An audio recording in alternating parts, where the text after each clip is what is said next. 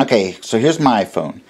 And I brought up my mail app. Typically, you're going to communicate with your clients and send them an email with the link to their personalized app. So here's a link in my email. I'm just going to click on it. It's going to bring up the app.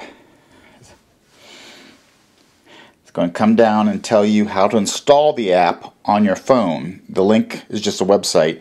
So what it tells you to do is click add home, home screen. Click that. Click add to home screen. It's going to ask you what the name is. You can type in whatever you want. I'll just leave it alone. And click add. And the app gets installed on the phone. Now to bring it up, you just click on it. Up it comes. You can select a photo to start with. We'll select with this one.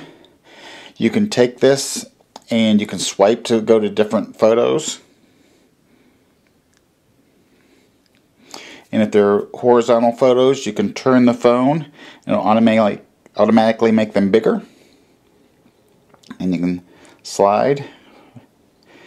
Go back this way if you want to see this one. You can also, if you want, pinch to zoom. See it bigger. Double tap.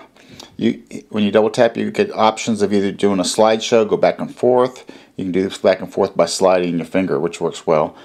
Or you can click the X to return to the home screen. That's pretty much it.